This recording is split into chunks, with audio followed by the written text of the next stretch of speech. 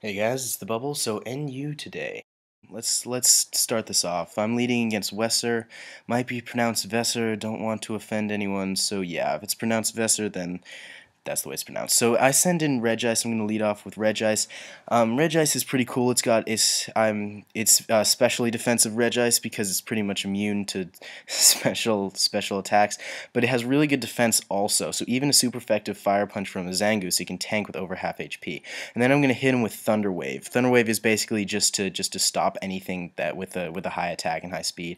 It'll just stop it in its tracks because most of those Pokemon have low defense or and or special defense, and without without good speed, they're they're not very they're not very good, and they're gonna have a bad time. I send in Gorebyss, which is very good because his Zangoose is paralyzed, and he's gonna come in with a Fire Punch to hit that Regice, but no, he's gonna hit a Gorebyss, gonna do almost no damage. I'm very very happy that I did not get burned because that would be very inconvenient. This Gorebyss, as you'd expect from a Gorebyss, it has Shell Smash, but I also use Substitute. I forgo I forgo some um, some coverage with with the the Gorebyss. He gets paralyzed, which allows me to get a free substitute. Very lucky, but um. I'm just running um, Surf and Ice Beam. Together they have very good coverage, not too great against water types, but still it can it can do a very good amount of damage against water types because of Shell Smash. He switches into Beheeyem on my Shell Smash. I know I know this Beheeyem. I've used Beheeyem before. Um, Beheeyem really likes using Trick Room. Trick Room is very inconvenient for Gorebyss, so my Gorebyss is in a, is in a bit of a bit of a tissy. Um, because he's he's gonna use because it's not I, I don't think I don't think I'm gonna be able to one hit KO as Beheeyem, uh, even with Shell Smash because Beheeyem does have very good very good special defense. Uh, so yeah, there's my there's my surf. I'm I'm kind of crossing my fingers that it'll kill it because if I don't, he's gonna use Trick Room. And Gorebyss is faster than all of the Pokemon on his team. So this is gonna be very um. Yeah, it doesn't it doesn't kill the Beheeyem. He's gonna heal with his left or no, not a leftover. He's got a Sitrus Berry. Kind of peculiar, but there's your there's your Trick Room. So now now my Gorebyss is not is it's this is inconvenient for Gorebyss to say the least because now all of his Pokemon are going to be faster than Gorebyss. I mean, I could immediately take out the Beheeyem with just just riding off that substitute. But what I'm going to decide to do here, um, Trick Room only lasts for five turns, and I'm not sure whether or not that includes the the turn that it's in, but whatever, only five turns. And if you do the calculations, I think I'm pretty sure that I can survive it if I just sort of stall them out with substitutes. So what I'm going to do is every time he uses a thunderbolt, I'm just going to respond with substitute. It's uh, it's kind of it's kind of draggy. It'll it'll take a little while, but I mean actually not that long, just five turns. But um, I'll be able I'll be able to get out. I won't have much HP left, but it's highly likely that I'll still have a substitute. And I mean, Gorebyss is going to go go first most of the time um, just because of its really high speed because of Shell Smash. So he's gonna he's gonna keep bolting, and I'm gonna keep substituting. Um, and sooner or later, uh, hopefully before I run out of I run out of HP, his Trick Room will wear out, and I'll be able to hopefully sweep the rest of his team. So yeah, that's that's how I'm hoping it's gonna go. Um, I'm I'm running low on HP and his trick room is is running low on turns. So I'm I'm pretty sure that this is going to be uh, the last turn of his trick room. It certainly is the last turn of my being able to use substitute. Um, I'm pretty sure I have 25. Yeah, I have 25% HP left, um, and I still have I still have eight to spare, which which lets me set up a substitute. Uh, so I'm going to restore HP with my left, uh, leftovers, and there go the, the twisted dimensions. So so Gorebyss Gorebyss is ready is ready to battle. So he's uh, yeah he's going to take out take out the Beheeyem immediately. Down it goes. Um, so Gorebyss is looking pretty is looking pretty happy. He's feeling swell about itself because it just it just overcame a very big obstacle in that Beheeyem, and now it it seems pretty free and clear. Zangoose is going to be able to use Quick Attack inconvenient because he can take out my substitute and leave me vulnerable to other priority moves. Um, but Gorebyss is almost certainly going to be able to one shot the Zangoose with Surf. I'm not actually I'm not assured of um, of Zangoose's special defense capabilities, but I don't think they're very high. Critical hit almost certainly unnecessary. Nevertheless, it doesn't. In the end, it doesn't really matter. The, the Zangoose, the Zangoose will faint. So yeah, I'm gonna get I'm gonna let get leftovers. Absol, I don't know what he's gonna do. I thought I I figured that he would um, use. He, I figured that he would predict Surf and that he would use Sucker Punch, but that didn't happen. He actually predicted my prediction, which is very kudos kudos to Vesser on on that. So yeah, he's gonna use Pursuit, probably probably his safest option aside from the Sucker Punch. But that was that was well played. That was well played on his part. Um, so down goes the Gorebyss. I'm going to send in my own Absol. Um, yeah, in the hopes that I'll just be he. I was going to use Superpower.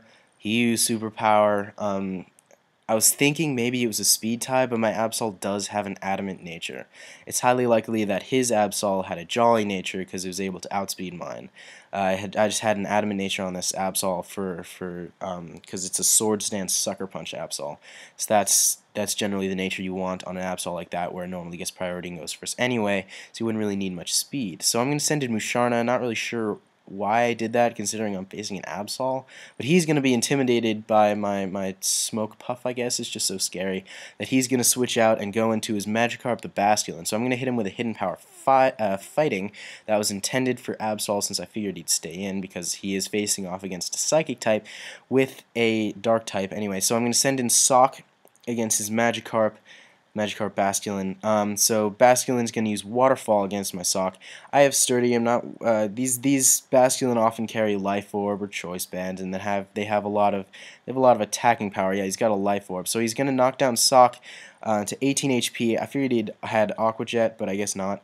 Um, he sends in Tio Kosa. I've got Reversal which is pretty pretty awesome with with 18 HP. I got my 18 HP Sawk with a choice scarf and reversal, so that's going to do a lot of damage. I'm actually I'm not sure whether at 18 HP um, reversal will do more damage, less damage, or equal damage to uh, close combat, but you know whatever. Um, so I predict I predict an ice shard uh, since that would knock out my, my Sawk, but no, he he he actually foresees my going to Regice. This guy is kind of a kind of a pro at predicting, but um, nevertheless, he still cannot do much damage. I'm gonna rest. I'm gonna rest on him, uh, which is which is yeah. He he loses he loses a bunch of turns there. I'm not yeah.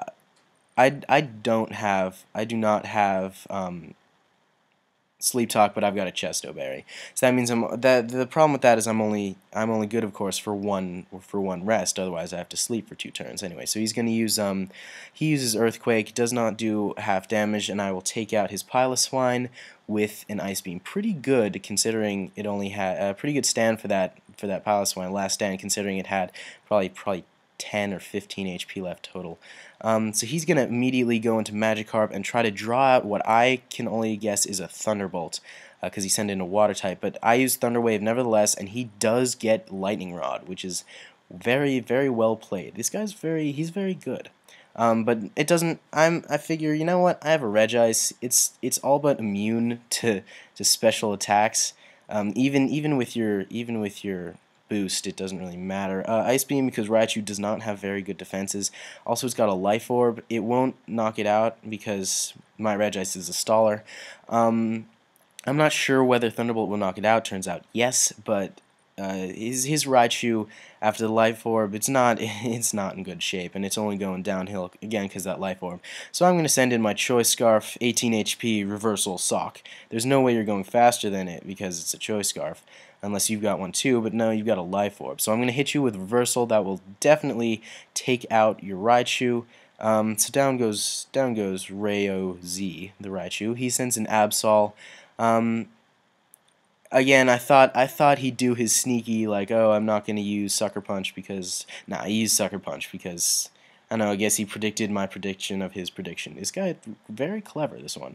So I'm going to send an Emboar because Emboar really just does not give a fuck. You can use you can use Sucker Punch on my Emboar, just it'll it'll it will be not very effective because Emboar is a fighting type. You know, there's another starter that's fire fighting. Emboar doesn't give a fuck. Two other starters, in fact, but you know, whatever, man. It's fucking Emboar. So yeah, Flare Blitz is going to take out your Absol. Um, yeah, absolutely. Just just because of just because of the, the raw power of this Emboar. Um, uh, so he's going to send in his his water type. Emboar, remember, Emboar just really doesn't give a fuck. You don't have Aqua Jet? Fine, I'll just hit you with a Flare Blitz. You're a water type? Whatever, man, I'll just hit you with a Flare Blitz. So yeah, going, going, and gone. And there goes his Basculin. So that's the end of the battle. Remember to rate, comment, and subscribe. Thanks.